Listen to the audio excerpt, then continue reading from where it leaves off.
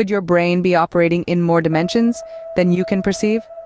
This question might sound like the premise of a science fiction novel, but it's a genuine scientific inquiry. The answer lies in the complex and intricate structure of the human brain, which scientists have found to form multidimensional geometrical structures operating in up to 11 dimensions. This groundbreaking discovery challenges our conventional three-dimensional perspective of the world and underscores the brain's complexity. This finding emerged from the Blue Brain Project, a Swiss initiative aiming to recreate the human brain using supercomputer technologies. Their latest model forms the basis for these fascinating discoveries. To study brain anatomy, the team employed algebraic topology, a branch of mathematics that analyzes objects and spaces irrespective of shape changes.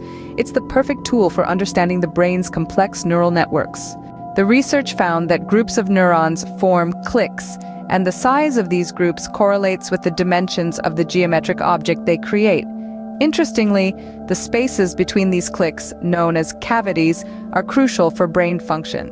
The research indicates that the brain responds to stimuli by forming and then dismantling structures that progress through multiple dimensions, from simple rods to more complex multidimensional shapes. These discoveries offer a fresh perspective on how the brain processes information.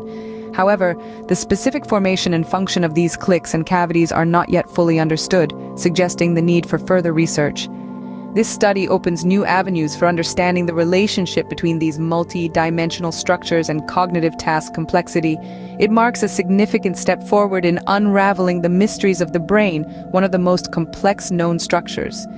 The McGinty-Naughtel scale equation, or MNS, could advance the knowledge gained from the study of the brain's multidimensional structures.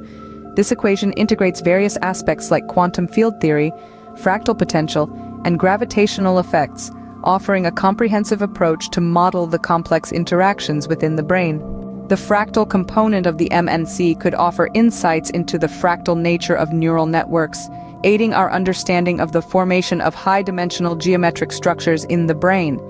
Meanwhile, the quantum field theory part of the equation could offer novel insights into brain functions at a microscopic level. Even the gravitational component of the MNSE might be used to explore potential subtle gravitational influences within the brain. In conclusion, this research represents a significant leap in neuroscience, combining advanced mathematics with brain science to explore the brain's intricate and multidimensional nature. The brain's complexity is still far from fully understood, but each new discovery brings us one step closer to unraveling its mysteries.